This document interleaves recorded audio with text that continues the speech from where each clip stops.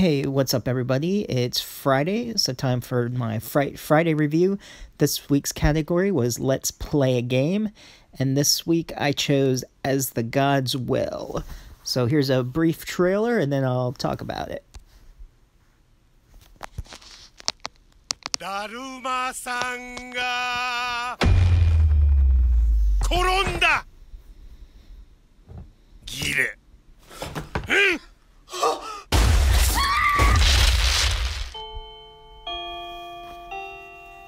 チュッチュチュッチュ。なんだよこれ。だるまさんが転んだ。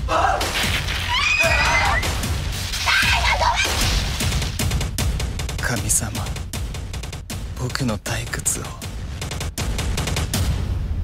返してください。背中かいいシ遊びといえばカゴメカゴメに決まってるだろややめろ！はあ？嘘つきよ誰だ2分前。のゲームスターこれは神が起こした革命だ。生き残ったやつが善。死んだやつが悪。神様なんか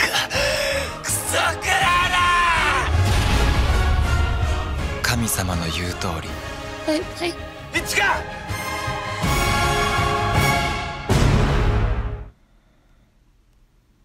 Introducing Freebird, All an right, app so that was a little trailer of As the Gods Will, and here's some photos from it. And as you can tell, it's a Japanese film. Uh, it is subtitled, so you just got to be in one of those moods to read what's going on. But regardless, it's still a really great movie. There's the classroom.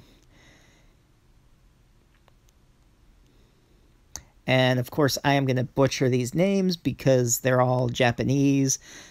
Um, the director was Takakishi Miki.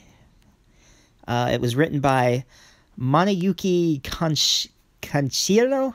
Kanshiro? I don't know how you say these names. Um, there's the cast.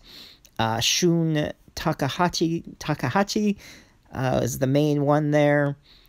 Amaya Takaru um, was someone else who was in the game who basically was trying to survive himself. He played the challenges, but if someone couldn't participate in it, like for each levels of the different gods of the challenge of the game that these students had to play, um, like maybe let's just say like five out of the seven could remain in it, he would do whatever he could to cut someone off to kill them so he could live in the challenge. He couldn't really be trusted, um, even though he was good at what he was doing. And each challenge, even though they were told what they had to do, there was always some sort of trick to it. And Shun, Shun, whatever his name, the main one, um, the second one there, played by Sota Fukushi um, however you say it. Um, he was pretty intelligent and found out ways to trick it. Uh, each god as well, uh, different students. He's saying how he has a boring life, and then one day there's like the Daruma god and the cat on all the different gods, as you saw in the trailer that I showed. Um, that second challenge with the giant cat, like some of them were instructed to wear mice costumes, and Sean realized, or Shun uh, realized that the cat was eating the ones who were dressed as mice first, and they had to like shoot a basket through the collar or the bell through the collar. Um, for that one, if they wanted to survive it to go on to the next game. Um,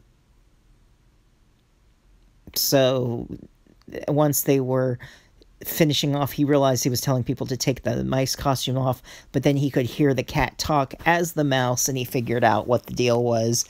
Um, then they have to go through a stage where there's um, chosen as who's telling the truth about who. Um,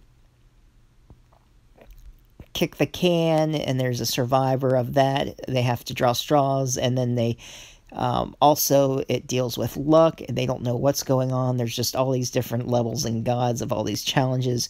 As you can see, very bloody. Uh, each death, each game survive. Um, those who survive, it's just a handful by the end of it.